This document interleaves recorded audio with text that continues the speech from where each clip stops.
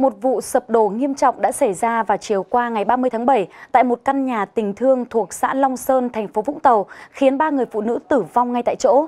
Bé trai 3 tuổi phải nhập viện trong tình trạng nguy kịch. Đến ngày hôm nay, 31 tháng 7, thông tin từ bệnh viện cho hay là cháu bé này cũng có thể sẽ không qua khỏi.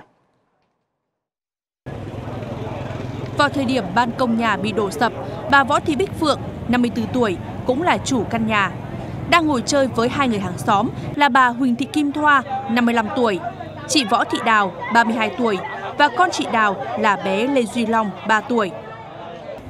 Hậu quả, ba người phụ nữ tử vong tại chỗ. Cháu Long bị thương nặng, được đưa đi bệnh viện Trợ Rẫy, thành phố Hồ Chí Minh cấp cứu trong tình trạng nguy kịch. Tuy nhiên, cháu Long đã không qua khỏi. Em đang ngồi chơi bên ờ, bên nhà bên nhà ờ, thấy ờ, thấy nghe cái cái rách rồi, rồi nghe cái rầm rồi tụi em xuống lại chạy ra. Rồi thấy uh, cái uh, tấm uh, tấm đan này đè lên bốn uh, người. Sau đó thì mời mà la lên thì mọi người xúm lại. Khiêng tấm đan ra rồi khiêng mọi người ra.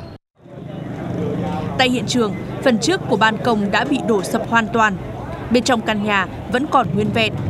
Ông Lê Xuân Tú chủ tịch ủy ban nhân dân xã Long Sơn cho biết căn nhà bị sập ban công là nhà tình thương được xây dựng vào năm 2010 Trước mắt, chính quyền địa phương hỗ trợ mỗi gia đình có người bị thiệt mạng 3 triệu đồng.